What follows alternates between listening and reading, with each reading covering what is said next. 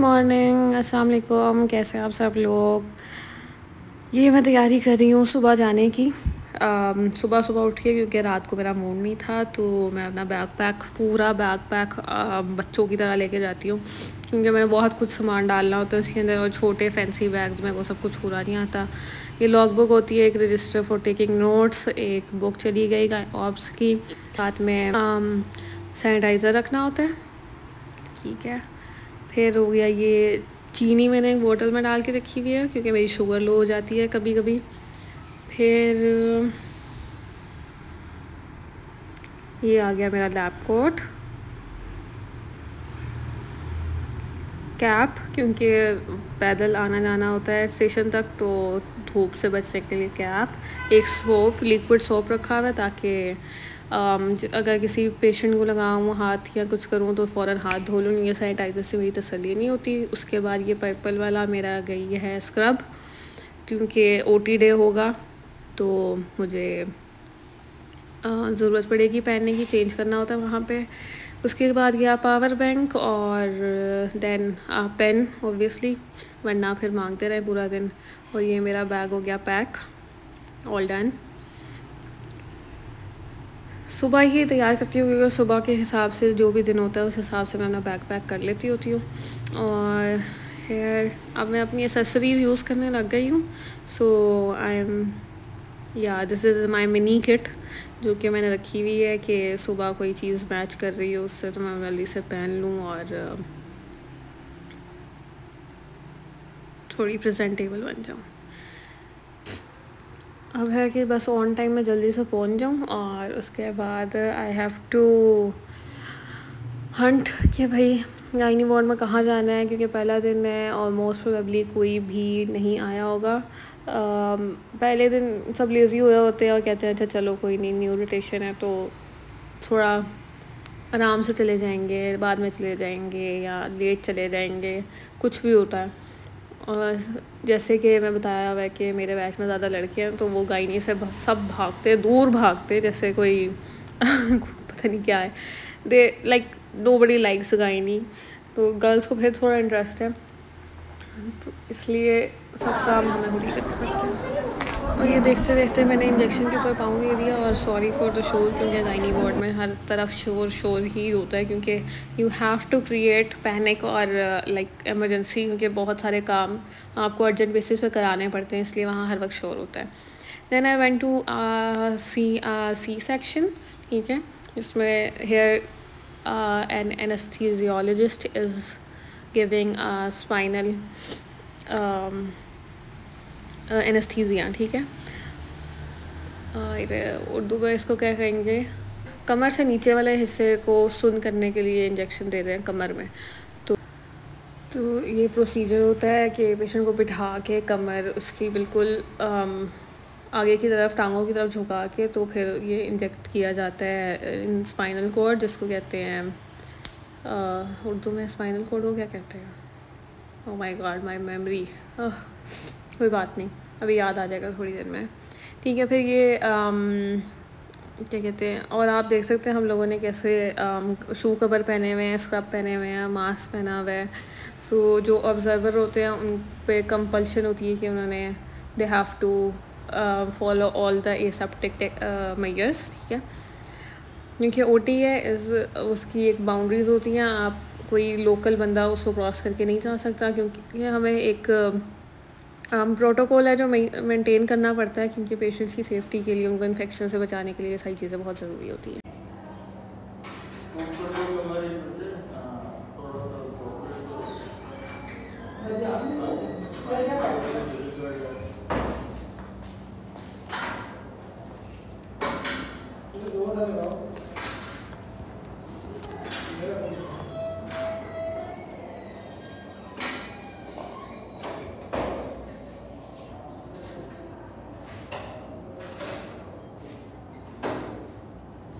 Okay वैसे तो एनेस्थीज़िया देना एज ही स्पेशलिस्ट तो उनके लिए इतना मुश्किल नहीं होता। इतनी प्रैक्टिस हो गई थी कि एक ही टैप में स्पाइनल फ्लूड बाहर आ जाता था और आप आराम से एनेस्थीज़िया इंजेक्ट कर सकते हो। लेकिन सिंस द पेशेंट क्योंकि ये पेशेंट काफ़ी ओवरवेट थी और बीस थी तो इनमें थोड़ा मुश्किल हो रहा था क्योंकि थोड़ी वो ख़ुद भी टेंस हुई हुई थी और उनका स्पाइनल फ्लूड भी ड्रेन नहीं हो रहा था। तो थोड़ा टाइम लगा था उनको। एनसीजिया देने में, लेकिन जैसे ही एनसीजिया गया उसके विद इन वन और टू मिनट्स हम प्रोसीड कर देते हैं फॉर ऑपरेटिंग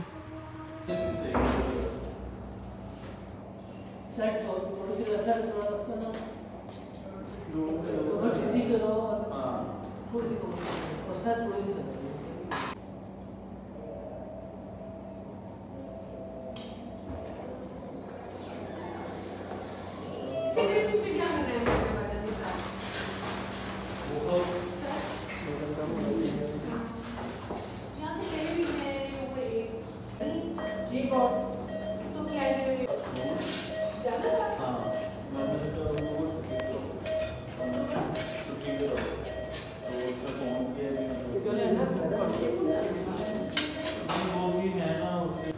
ओके okay, अब हम प्रेशर प्रेप कर रहे हैं ये सारे इंस्ट्रूमेंट्स हमें चाहिए होते हैं ये फ़ौरन हम सेट कर लेते हैं जैसे ये सक्शन हो गया क्वार्टरी इलेक्ट्रोड हो गया ये सारी आम, क्या कहते हैं इसको ब्लेड्स हैं और ये सब कुछ ठीक है।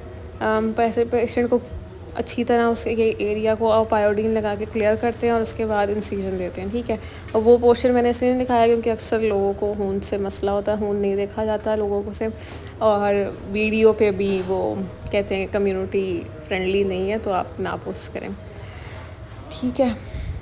ओ हाँ और याद आया कि ये जो पेशेंट थी ना इसकी एमरजेंसी सी सेक्शन हो रहा था क्योंकि शायद किसी रोड बाइक पे ना एक्सीडेंट या किसी वजह से गिरने की वजह से जो आम, आ, बच्चे का जो अव्वल होता है ना प्लेसेंटा जो होता है ठीक है वो उसके बच्चेदानी से अलग हो गया था ठीक है तो थोड़ी सी ब्लीडिंग हुई थी ये वो तो उसमें हमें ना फ़ौरन से सी सेक्शन करना होता है इसको कहते हैं प्लेसेंटल अब्रप्शन ठीक है।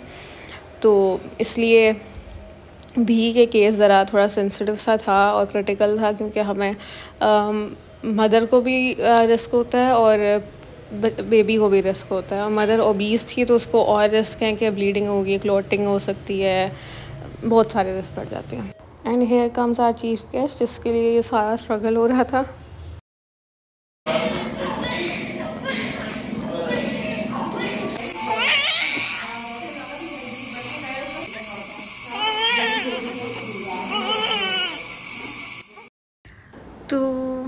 अब ओ टी से बाहर आने के बाद ये शो कवर्स उतार दिए क्योंकि ओ टी में अगर हमने ऑपरेशन थिएटर में किसी तरह का भी ऑपरेशन थिएटर उधर जाना होता है तो you have to wear these shoe covers और हेड कवर ठीक है? मास्क भी पहनना होता है तो और उसको फिर आपने प्रॉपरली डिस्पोज भी करना होता है। तो ये करती है तो हाँ है काफ़ी हो गया ये एक इंस्ट्रूमेंट था जिसको हम लगाने की प्रैक्टिस कर रहे थे ये, और ये अक्सर उन डिलीवरीज़ में यूज़ होता है जो कि ना फंस जाती हैं, यानी कि ऑब्स्ट्रक्ट हो जाती हैं, बच्चा बाहर नहीं आ रहा होता, कोई भी रीज़न हो सकती है। And then here comes our tea हम हमने लड़कों को काम पे लगा दिया कि ज़रा कुछ सीखें, इन्हीं का इन्हीं का ही फ़ायदा होगा बाद में। सही है ना?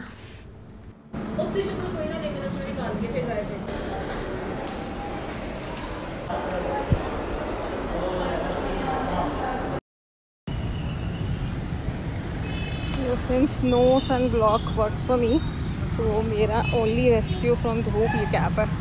और मेरा लैपटॉप है, जो कि मैं ऊपर बाजू पर डाल देती हूँ। आज का दिन, आज का दिन इतना हेक्टिक था, और ऊपर से अब चलो हवा चल गई है, लेकिन ना, अल्लाह को पाँच दफ़ा मूड होया मैंने।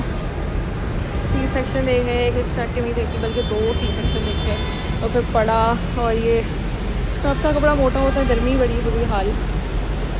तो अब फाइनली गोइंग टू होम बस हो गई आज की। और सिंस आपने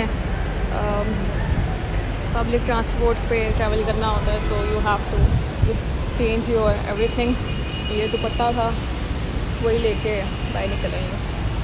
हर बंदा ऐसे घूरा होता है जैसे क्या मैं कहूँ ना ट्रेन आने में अभी भी तीन मिनट है और अल्लाह शुक्र है, हवा चल गई है, थोड़ा सुकून आया है।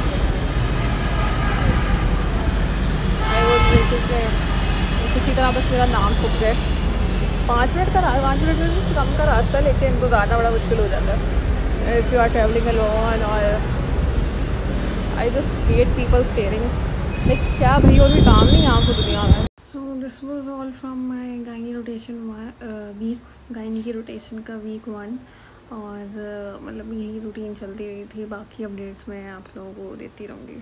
Till then bye bye